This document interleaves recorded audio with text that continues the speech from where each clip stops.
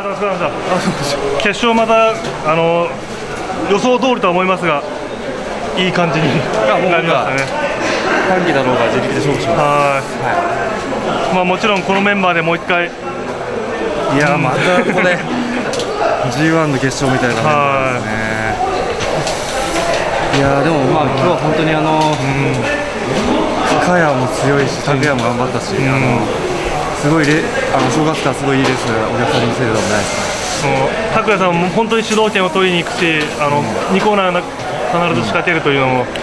そうですあの辺で仕掛けれるっていうのはあの成長すると思うし、あのすごい無駄な4着じゃないと思うんで、はい、そうやってそうやってあの、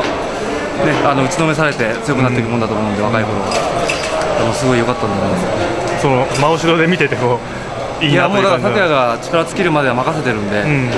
あのもう一回踏みに行ってくれたから、まあ、そこまでは任せてます。まあいいレースをしながらの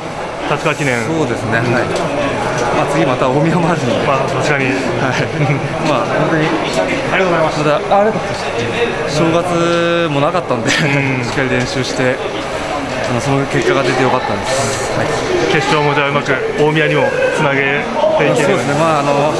まだまだ気抜けないので、はい、しっかりいいね。